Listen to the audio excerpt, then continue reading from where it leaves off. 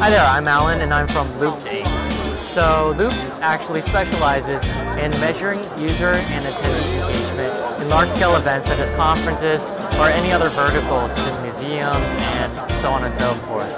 Um, so basically what we do right now, what we're working with conferences, is that we're actually providing wearable technology for them.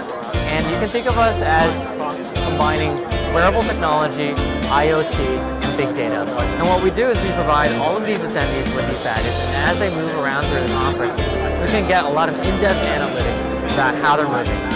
So why is that important? A lot of people, when they're when they have booths or if they're speaker sessions, you really want to know who's coming to your booth, how long they're staying, who they're talking to, and what kind of information are they interested in. And so that's actually all possible with booth technology.